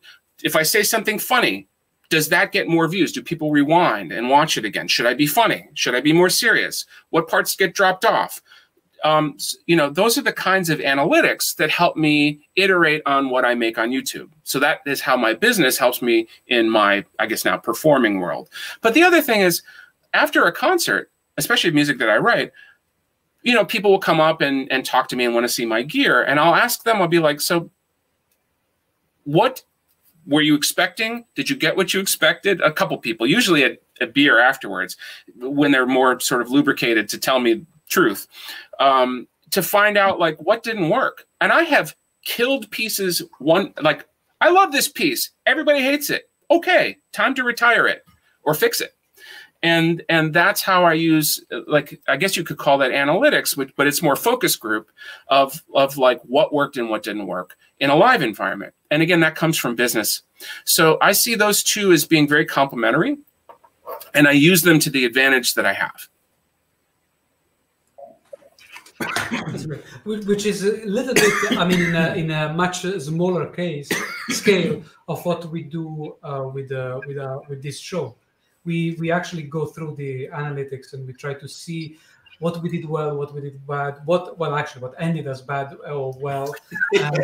Uh, so and it's, it's really, or well. Did you notice that one? It's really really fascinating actually because it, it really uh, helps you to try to improve for the next uh, show. And, uh, and and it's incredible. I mean uh, that we can do that today. And that also is, I mean, if we're all going to be moving online for the next however many, uh, we all need to be comfortable understanding um, what the numbers mean. And if we don't, we can we can we can have good guesses, but ignoring it is really not an option. Right. And that's not something that we're used to as musicians, is sort of reading the audience with that kind of granularity and drawing conclusions. And also, some of them are hard conclusions. Mm-hmm. Do, do you um do you want to share a couple of those uh, answers to those questions. You said, what what what have you noticed in your channel with seven point odd million people over ten years? What are the kinds of things that didn't work? What are the kinds of things that did work? Sure. Um, so one thing, that, a couple of things that I've noticed are my audience is primarily 13 to 24 years old. Uh, that's my largest audience, males. Uh, I'm 86% male audience uh, 14% female audience. or actually, I think it's 13% female audience and 1% unknown or other. And uh, and then my second largest demographic is people over 60. So I'm at the I'm I'm, I'm at like learning age and I'm at the relearning age, if you will. And so to me, that that that uh, my hypothesis and what I continue to build on is that I'm serving an audience who is uh, who who is still learning. So I'm not, um, and and you know, what's the chicken and the egg? Is it because I create the content that this happens, or is it this is the audience and I've created? So they both kind of feed on each other. But I'm very different than Nicholas uh, um, because I play, but I talk a lot more than I play, mostly and I talk about, you know, I, I, talk about instruments, I talk about new gear, I talk about problems of the, you know, I talk about fixing stuff. It's it's an educational and not just a performative environment, and so that's that to me reinforces the fact that okay, that's my audience, um, and that's the kind of content that's been working, and I should continue to do. It's not easy to always come up with new stuff to talk about. Uh, you know, I'm 200 videos in, and 10 years in and I'm thinking like, how much more is there to say? And uh, and it's a struggle that I have now. It's just sort of like, all right, well, what do I want to make? What what am I going to say that's interesting? That's not sort of retreading. uh, what I've learned that doesn't work is uh, is live performance videos. So me standing on a stage playing is not successful. Wow. I, I've left them up because you know there's no reason to take them down, but people are not as interested in seeing me play uh, and so I don't put up like concert videos of me. Sorry, sorry. So one question: um, Do you see after you do this live video, live concert, in the next few in the next weeks, you see an increasing on view, or actually stays stable, or those video have uh, poor views? They have poor views and they remain poor. That's okay very very very understandable there. yeah. Yeah. Um, the gear videos where i talk about equipment it, are very popular.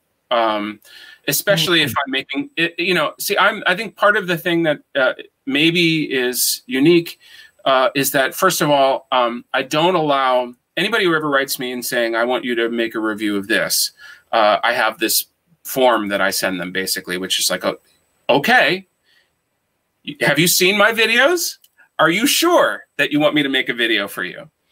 Number two, if yes, send me your thing.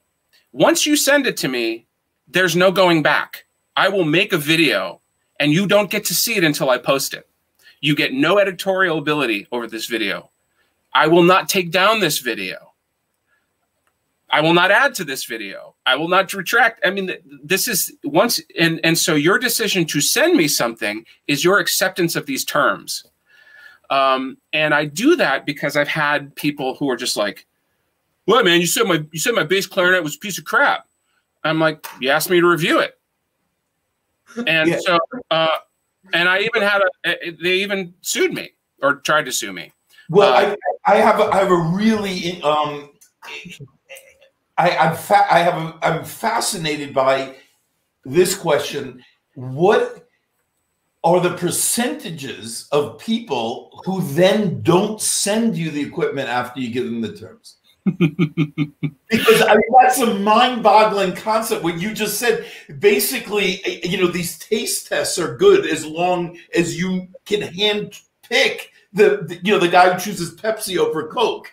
But you know, I but I I'd love to know. I, I, what, first of all, what case sampling are we talking about? Are we talking about 10, 200? Um, you know, how many people have asked you to to send in? Um, uh, I I have a backlog, so they're not all up yet, but at least twenty five or thirty. Okay, and how many people have said we're not going to take that risk? Um, one. Okay, wow, that's that's you see, that's really interesting to me. I would never have guessed that. Very interesting. Yeah, and uh, and I won't tell you who it is. No, no. But, yeah. yeah. but they told me they're like, we're too nervous. You're too much yeah. of a of a wild card for us. Yeah. And I'm like, you got to believe in your product if you want to send it to me. Um, you know, because I, I I think part of it, I don't take any money for the reviews. I don't take a commission on the things that I say are good. Um, you know, I, I have to, you know, I keep a real consumer reports sort of like untethered to advertising dollars and stuff like that. I, I make it very clear that that when I when I say something, I'm telling the truth. Generally speaking, there's always something something good, something bad. I don't I don't ever pan anything except for once. Uh, and I made an awful lot of fun of uh, of one product in one of my videos, um, and they have never sent me anything again.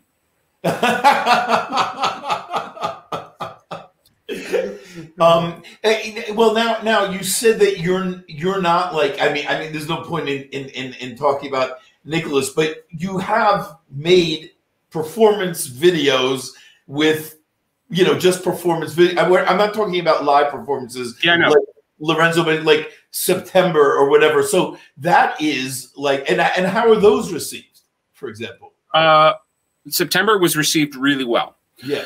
Uh, and that was a surprise.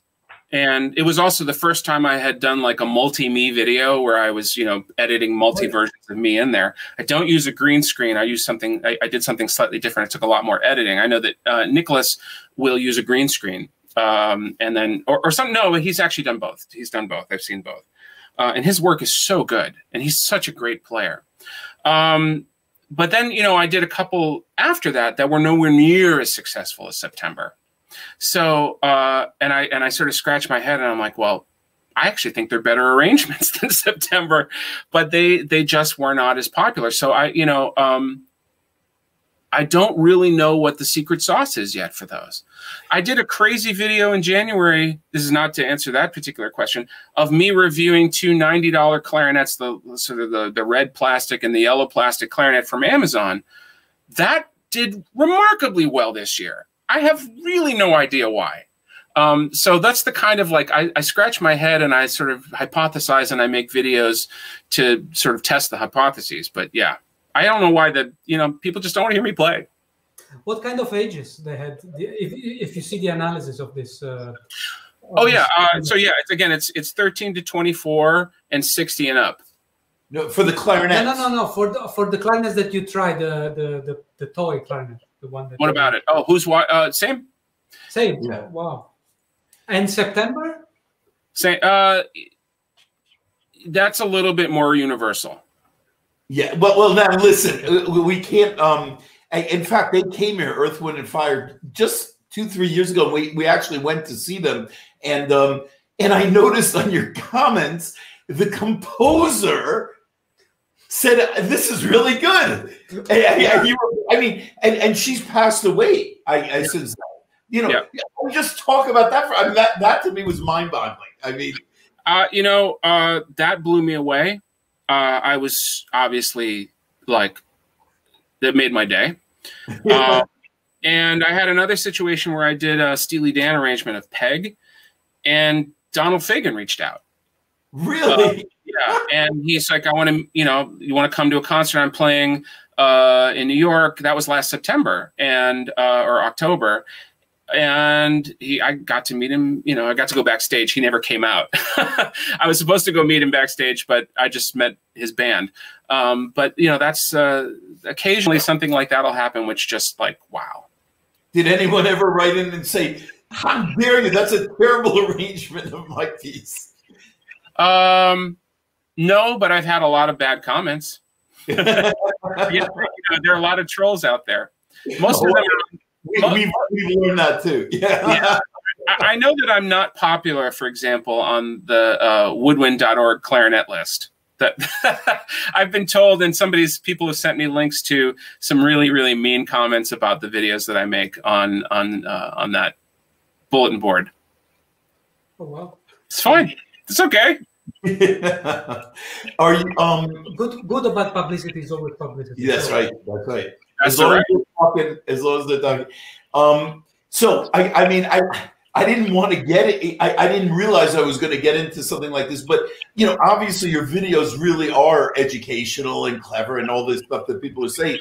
And, and I, I am you're welcome. And and I imagine that you'd be a very good teacher. So I actually, in, in a place like Hong Kong, once the Blue Moon you find someone um, as I was going to say something nasty, but but I'm outnumbered. You know, who, who's as enlightened as wanting to major in the bass clarinet. So and and I and I I knew you were at Manhattan School. And, and I and I said I'll, I'll tell you what I'm going to have this guy in the air in front of thousands of people let's ask him how can someone study with Michael Lowenstern. So now I'm already a little confused. Um, maybe maybe you can. Uh, you know, not not not in in that. Hey, I live in New York. Can I come over for an hour? But you know, I live in Asia or something. I wouldn't mind going abroad for a year, kind of kind of. Yeah. I um. So, are you asking me why I left Manhattan School or how to come and teach me? We're good. Let's first start with: Are you part of a degree, visa, you know, program today? Okay. All right. Now you can talk about why not. um. Well.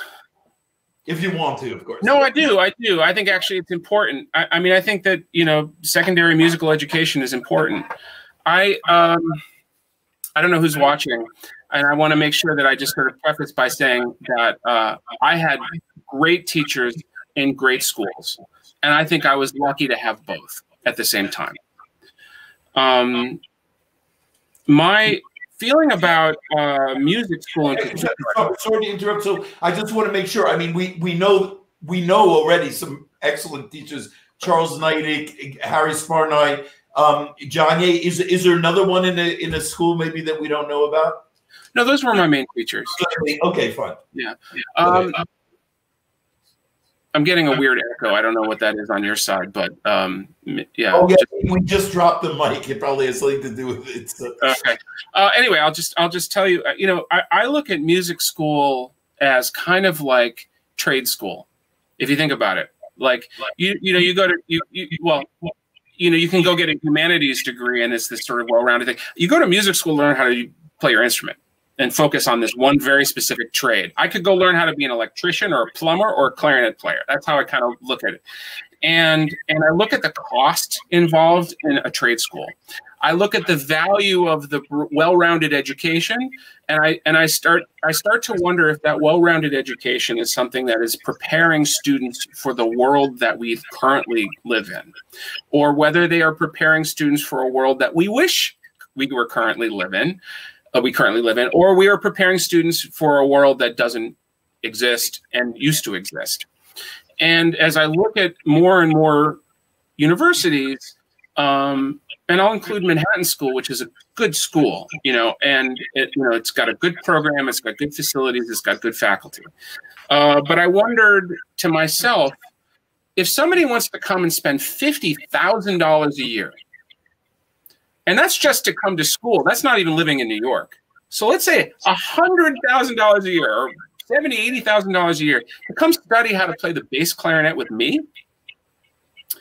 Um, I had a real sort of ethical problem with that uh, because I was teaching in the master's program, teaching about you know it was it was very concentrated. It wasn't even just it, it was even a more narrow focus than a typical broad education, and I really struggled with um, with the fact that a, a student was going to spend upwards of $200,000 to spend two years learning the bass clarinet with me.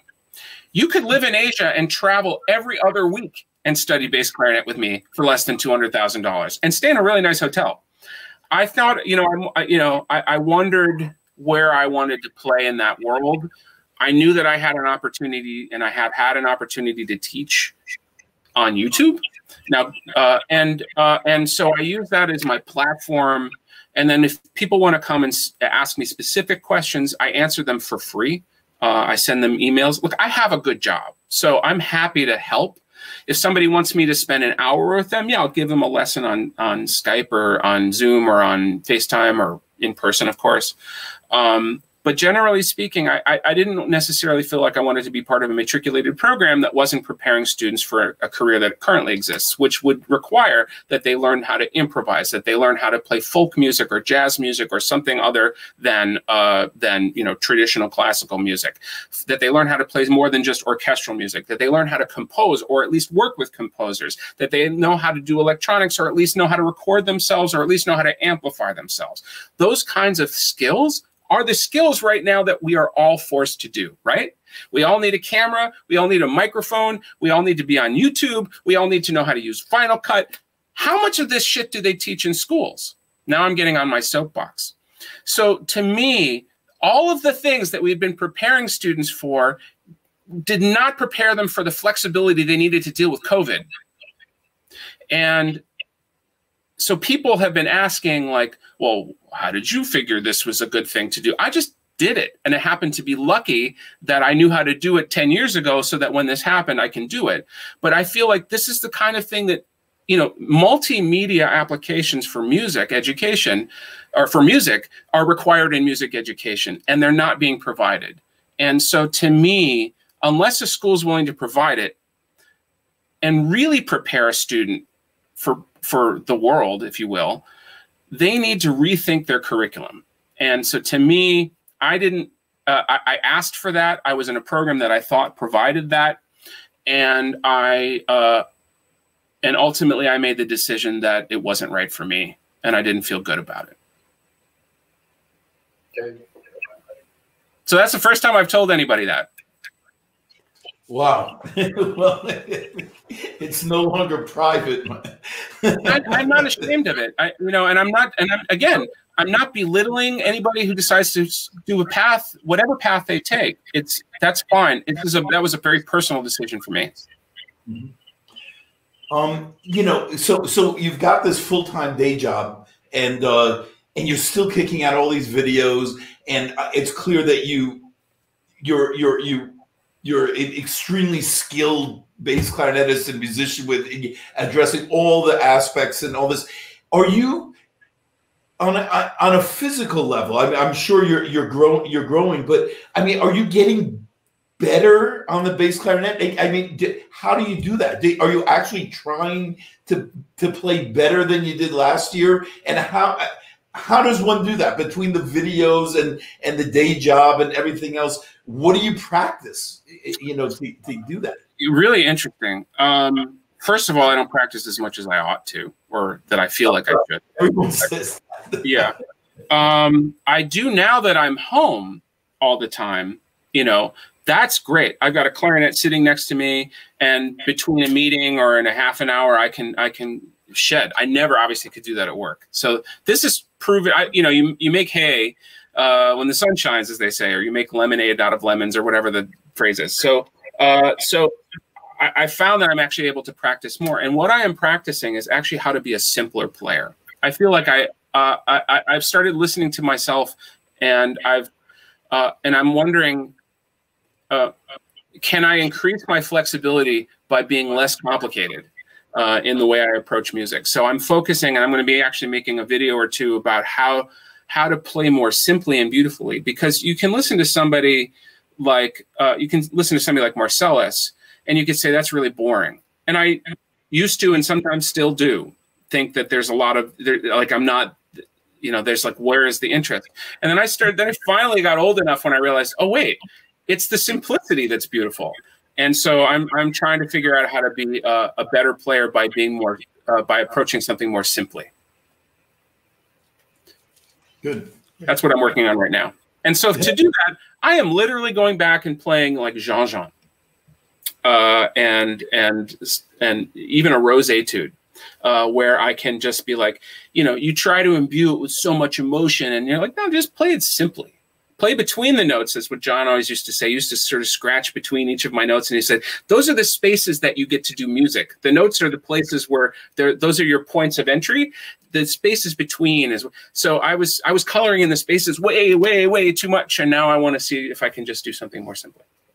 Good. Now, now along those lines, I mean, you, you have this really big project in the, in, in this website, and you mentioned before um, uh, you you mentioned b- before that you take off summers to, to do. I, I, I only caught a little bit. Oh, I don't. I don't make videos in the summer. I take a break. Oh, you take off from videos in the summer. I right. thought you you took off from your job to make videos in the oh, summer. Oh no, no, no, no. Uh, I, yeah, no. Wow. And um, is it I mean, how many how many videos altogether do you have? Did you say? A couple hundred.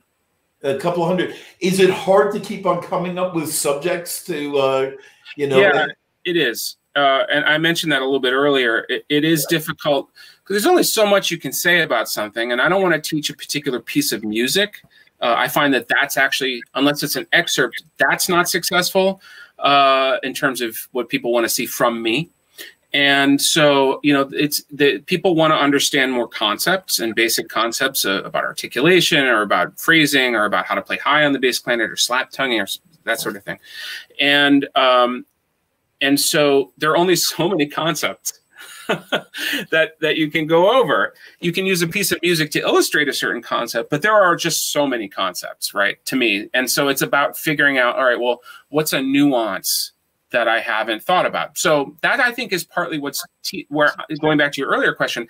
I'm learning by digging into like what have I not talked about and then realizing that I haven't talked about it because it's not something that I think about. So maybe I should think about it. And that's what drove me to like learning how to play more simply, stuff like that. Mm-hmm. So I, I, actually look at the videos as a way to push me to examine my own playing more.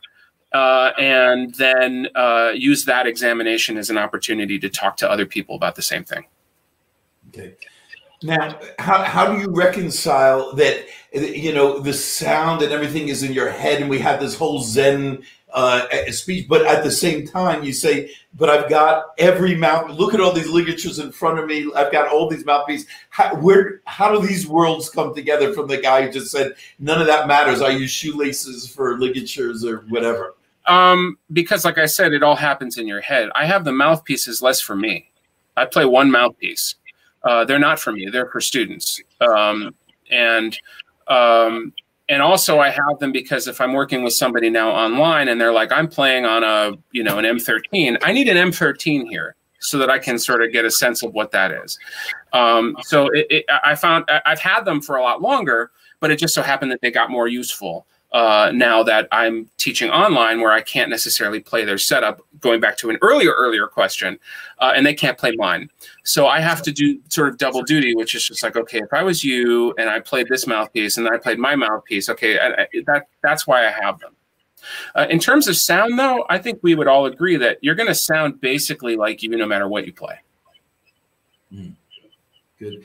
Now you're talking about new learned behavior during this period, and how that's going to affect things. Do you think? Um, do you think other things are going to be damaged by this? In other words, maybe the concept of live concerts. Maybe people are get, are getting used to this kind of thing and kind of like the idea, like you said, just just being able to practice between a meeting, like working at home, just being home and being willing to chill and and watch this. Do you think that live music might be more in jeopardy, or live lessons even um, if this thing ever gets sorted out anyway.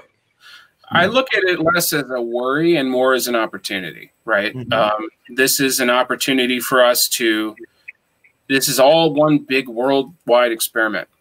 Um, whether it be theater or music or visual art or uh, what have you. And what is a concert? What is a live concert? Um, what is a musical experience at a concert? And you know, if if we're going to be doing stuff like this, what makes it interesting? Because it's not the it's not the personal uh, contact that you have, or at least you're breathing the same air as the performer. There's not that sort of feeling of spontaneity necessarily. Um, and so, what do, what do we do to keep it interesting? What do we do to keep us interested? And so, to me, I, I, I is it in jeopardy? I think it's only in jeopardy if you're inflexible. Mm-hmm uh, I think that if you if you use it as an opportunity to experiment, and I think um, you know, I think I, I got this sense of experimentation from all of the people that I studied with, uh, present company especially, uh, that that experimenting um, with your medium, with your instrument, with the music is is the only way to stay relevant. And that I think is what's separating people from the I'm really worried from the I see this as an opportunity. Mm-hmm. I'm actually wondering, as someone who's made CDs and this sort of thing, nowadays, even I, I mean, I'm the biggest techie dummy, the biggest fear, you know, person of everybody. Um, but even during this period, I've gone from like an iPhone and talking to, to something more complex. And the more that I see Lorenzo, for example, growing, and obviously someone like you uh, talking, I'm just wondering. I mean, even it's like everyone's becoming a producer. You know, every every everyone's becoming an engineer. I'm wondering if these specialist guys are, are actually going to have their hands full trying to keep their own, um, uh, you know, their own relevance as literally musicians are now becoming um, you know they've got all the software. The software is becoming easier cheaper. The mics are pretty darn good already. They're affordable. Everyone's learning the skill. We're, we're, we're locked on I'm, I'm wondering if that whole area is going to be more in jeopardy are you sir you're thinking about like recording engineers yeah yeah i mean you can, uh, let me just turn this around and say, do you think that um, because people are home and cooking for themselves, that restaurants will become irrelevant? Uh, that people will not want to go out and have an expert do something for them, even though they know how to do it themselves. Um, I'd argue not. I would argue that there's room for everybody. I think I would also argue that being more educated about the thing will allow you to make better choices. It will allow you to be a better consumer um, of both food and recording engineering. So I, I, look at this again. It's like this is all positive. Will it put some industries in jeopardy? Yes. Um, I think I don't know. Obviously, I don't have a crystal ball, um, or else I'd be on Mars right now. But uh, I, I, think that you know there's a there there's an opportunity for us here to uh, to become better producers, but that will also allow us to be better um, collaborators when it when it comes time for us to actually be working with other people. Right. Again. So why, why don't we? So as a teacher, we're we're we're gonna start my usual closing down. As a teacher, what do you um? What do you know, or what, or as a player, what do you notice as general tendencies worldwide in players nowadays that you would gravitate as a teacher, things that you wish they did differently or common problems, to be blunt about it? Common problems with, okay. Um, I think that there's a culture of, of well, I think we all want to get better faster. I think everybody wants it, like instant gratification. We certainly get that dopamine rush when we are seeing how many views we have on YouTube, for example, and all of that that we recognize as being, you know, part of having a device in our hand or at least around us all the time. Uh, I, I, I see a lot of people that I meet uh, maybe a lot is a, is a strong word, but I see people, I see a tendency for people wanting to find a shortcut much like we would find a cheat for our video games, you know, where we can be like, all right, well, I can beat the boss if I hear left, right, left, right, up, down, up, down. Okay, great. Now I'm on to the next level. It doesn't work that way on clarinet. Um, and so there is no there is no fast lane uh, for a skill that we are all dedicating our lives to. And so I see I, I see and I think a lot of teachers may see, and this may or may not be different from the past, people wanting to find a way to not put in as much work and get further. Uh, and and I say to you know uh, everybody I meet, like new music is not the the quick way to success, uh, or uh, you know. I'm going to play bass clarinet now because I'm a sax player, and so therefore I'm going to be more marketable. There is, it's you know, you got to put in the time now on two instruments. So I think that's the biggest thing that worries me is that people want something that's faster and easier. And as a result, our standards are going down uh, as teachers. And I don't mean that universally, but I, you know, I, I do recognize, I'm sure that the level of the top players is still the top, right? I mean, there's just you know there, are great players out there. They're going to be there's going to be the next Martin Fröst, um, and so you know that's great. But I think that the bench is probably decreasing in quality a little bit. And that's my fear is that we're accepting that. And finally, why don't you give some general advice to you know young people uh, uh, try to get into music? And um and if you want to it'd be nice if you could actually uh, sneak some covid in there the, the, what the, the challenges they're facing now and and how to deal with those. Sure. Um here's my general advice doesn't matter what age you are there's a time in your life this is to all of the students. There's a time in, in your life where it's time to work on getting better. That's your whole focus is improving and fixing things and learning how to fix other things and improving the and, and making yourself a better musician and figuring out how to solve problems. I can't tongue between 116 and 120. That's a problem. Okay, I got to solve that problem, whatever the case is. Um, and then, and this is an important part, and then you are out of school, and it's a hard transition to move from always thinking about getting better and fixing to performing and being the musician that you are at the time. And I see a lot of students and a lot of young musicians who come out still wanting to fix all of the things that they had been working on. There's a certain, you know, that's that's a habit that you get into is I want to fix, I want to fix, I want to fix. And uh, and at a certain point, you have to recognize I need to focus on the things that I'm good at. And I need to, and then everything else will come along. Okay. So for me, it was like, I'm going to focus on the bass clarinet. There is stuff that I can't do on the clarinet that I still can't do on the clarinet that has vexed me since I was 16 years old. I could be focusing on that, or I could be focusing on the things that I do well. Focusing on the things that you do well is what makes you unique. Um, focusing on the things that you don't do well is what makes you like everybody else. so it, you know, so I think that the best advice I can give is forgive yourself the things that you can't do Focus on the things that you can do. Believe it or not, the things that you can't do are going to come along. You don't have to necessarily focus on them. They will still come along. I can now tongue between 116 and 120, and I didn't have to spend a year of my life working on Kroepsch or whatever. So, so my, so forgive yourself. Focus on what you're good at, uh, and you will have a much happier life than if you focus on all of your faults. So that's my my advice to you in to people in general. And I had to learn that as much as anybody uh, has, you know, ha has that to be told to them. Anyway, uh, and then in terms of COVID, this is this is your opportunity to learn. Now, before I say this, I want to say there was an expectation that we all put on ourselves, which is that, cool, I don't have to commute anymore. I'm going to spend those two hours practicing my clarinet or doing this other thing and having these expectations. And there's actually this, there was a great article in the Times about this, or maybe it was the Atlantic, which is about like we, we had this uh, surplus of creative energy. All right, well, these are all the things that I wanted to do and I never had time to do, but now COVID is going to allow me to do. And we went ahead and we, we used up that surplus energy. And so by April, we were all just like, don't feel like doing anything that's okay. Um, and don't put too many uh, unrealistic expectations on yourself. I I think we all went through this. Uh, you know, uh, tell me if you guys did, but it was like, all right, now I'm going to start this podcast, or I'm going to make tens of tens of thousands of videos, or I'm going to make a see, yeah, and then and then you have this expectation. This is what you have to continue to do. Forgive yourself.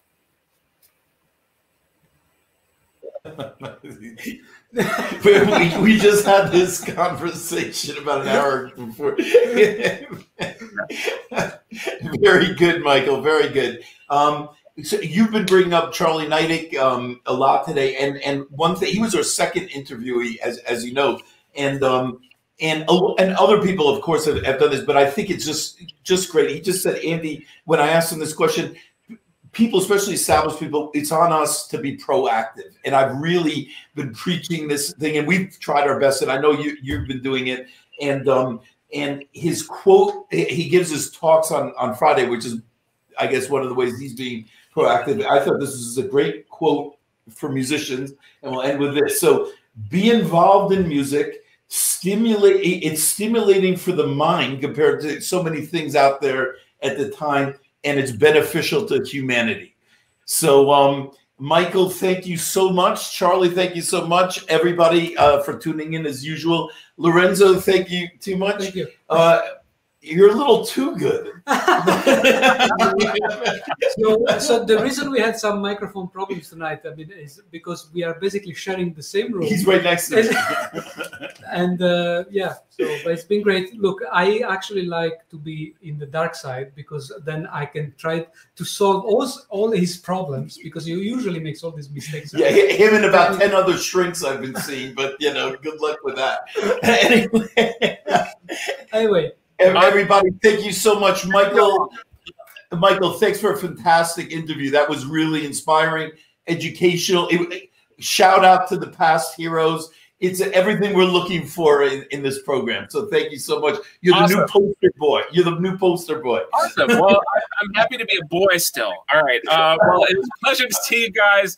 And uh, yeah, um, thank you, Charlie and John, for everything. Um, Uh, I, I, say that to you as often as I can, but I I never can say it enough. So, thanks, and thanks, Andy. Everyone, and we'll see you next week, everybody. Okay. Yeah. Bye.